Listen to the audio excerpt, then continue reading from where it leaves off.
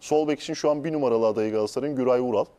Bunun sebebi Okan Hoca'nın daha önce birlikte çalışmış olması, oyuncu profilini çok beğeniyor olması. Bir de yani sol bek için Galatasaray'ın şu an aradığı profil şu. Kazımcan bir ay, bir buçuk ay sonra dönecek gibi duruyor. Galatasaray Kulübü Kazımcan'a güveniyor. Bir numaralı sol bek olarak Kazımcan'ı görüyor teknik heyette, yönetimde. Bu süreç içerisinde Kazımcan'ın yerine oynayabilecek ve Kazımcan geldiğinde de yedek kalmayı çok problem etmeyecek bir oyuncu düşüncesi var. Güray için Antalya Spor'la şu an ekrana yansıdı zaten. Bir görüşme gerçekleşti. Gal- 350 bin euro ve Emre Taşdemir. Emre Taşdemir'in sözleşmesi sezon sonunda bitiyor. Ve işte bonservisiyle Emre Taşdemir oraya gitmiş olacak. Eğer böyle bir teklif kabul görürse ama Antalya Spor çok sıcak bakmamış ilk etaptaki teklife. Bunu Nuri söyledi. Hoca diyorlar değil mi? Nuri Hoca yani şu an ideal 11'inde düşündüğü için Güray'la ayrılmaya çok sıcak bakmıyor ama oyuncu tarafının isteği var haliyle. Yani Galatasaray'da oynamak istiyor Güray'da. Hatta şöyle bir bilgi vereyim. En son sözleşme uzatmış Güray Antalya Spor'la. Bu da yeni öğrendiğim bir şey. Artık futbolu ben burada bırakırım düşüncesiyle hareket ediyormuş ama böyle bir Galatasaray opsiyonu olunca tabii şimdi oyuncu tarafından da bir istek var. Okan Hoca'nın da en çok istediği sol bek ismi Güray. Yanı sıra Uğur Çiftçi de var alternatif isim olarak. Yani Uğur'un da ihtimali düşük değil ama burada Okan Hoca'nın isteği biraz daha daha tanıdığı bir isim olmasından dolayı Güray. Forvet konusunda da yine burada Antalya Spor'la Galatasaray'ın yolları kesişiyor. Yani hem sol bek için hem forvet için biraz Antalya Spor'la pazarlık yapılacak gibi gözüküyor. Zaten dün haberler çıktı. İşte Hacı Wright'la ilgili Galatasaray'ın bir görüşme yaptığına dair. Onun detayları da 4,5 milyon euroluk bir teklif yapmış Galatasaray. Dün iletiyorlar teklifi. 4,5 milyon euro. Artı 3 tane de oyuncu. Oyuncular Bazıları kiralık, bazıları bonus. Ya biraz aslında şöyle bir şey. Yani şu an kimlerle yolların ayrılabileceğini aşağı yukarı zaten kestirebildiğimiz için bunların arasından biraz Antalya Spor'a seçme şansı verilmiş. Yani bir karışık bir paket gibi aslında. Onların uygun görebileceği isimlerden bazılarını seçmeleri istiyor. gördüğüm isimlerden bir tanesini sorayım mı? Yunus, Bonservisiyle. Yunus'u mu soracaksın? Yani Yok imkan yok. ha yani değil mi? İmkan yok. Yani kiralık olarak da bence yok. Gördüm bir mantığı olan bir şey değil. Kiralık olarak neyse de Yok kiralık da ya. gene o da mantıklı değil de hani bonservisini vermek. Çünkü Okan Hoca şu an Yunus, Yunus'u yavaş yavaş ana plana da dahil etmeye başlayacak. Derbide gördük zaten.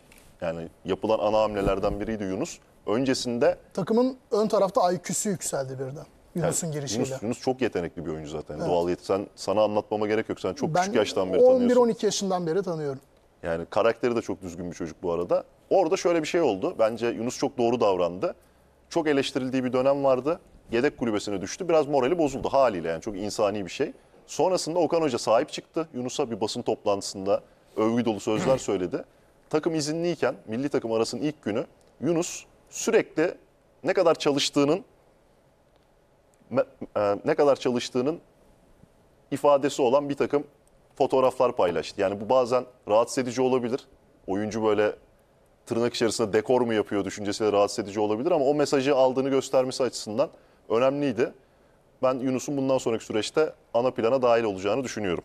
Ee, Yusuf Demir, Seferovic, Ross gibi oyuncular da ismi kiralık olarak özellikle Seferovic bonservisli olur muhtemelen geçiyor. Bu oyuncular arasından ayrılabileceğini düşündüğün isimler var mı? Seferovic ayrılacak zaten Evet, normal o tamam, şartlarda. net. Yusuf için şöyle bir düşünce olabilir. Yani yabancı sınırından dolayı çok fazla ana plana dahil edemiyor Galatasaray. Bir süre oynaması düşünülerek bir kiralama durumu söz konusu olabilir ama Rose mesela uzun bir sakatlık süreci var. Şimdi takımla sa- saha çalışmalarına daha henüz başlamadı. Yani Rose çok anlamlı olmayabilir Antalya Spor'un Rose'u alması açıkçası. Bir de Antalya Spor cephesinin burada tabii şöyle bir çekincesi var. Güray'ı hem Güray için hem Hacı Wright için Galatasaray'la görüşüyorlar. Yani biz bir tane oyuncu bir tane oyuncudan para kazanacağız ama sonrasında 3 tane oyuncunun da maaşını ödemek durumunda kalacağız. Yani maliyet anlamında bizim için çok mantıklı olmayabilir düşüncesi varmış Antalya Spor cephesinin de. Bir de işin en kritik kısımlarından bir tanesi Galatasaray'ın teklifinden daha iyi teklifler masada var rakamsal olarak. Ee, Koray Baloğlu'nun bir eki var ondan bahsedeyim. Galatasaray'ın 4,5 milyon euro önerisi, önerisine karşılık Antalya Spor'un beklentisi 6 milyon euro. Çünkü Ee, Bunu da çok taze bir bilgi olarak sizlerle paylaşmış olalım Koray Baloğlu'ndan. Biz de şöyle altını dolduralım bilginin. Te- teşekkür ederim Koray Baloğlu'na da. Yani 5,5 milyon euroluk teklifler var şu anda masada Hacı Wright için. Ama takas falan herhangi bir şey söz konusu değil. İngiltere'den, İtalya'dan hatta Rusya'dan da bir teklif varmış ama oyuncu Rusya'ya gitmek istemiyor.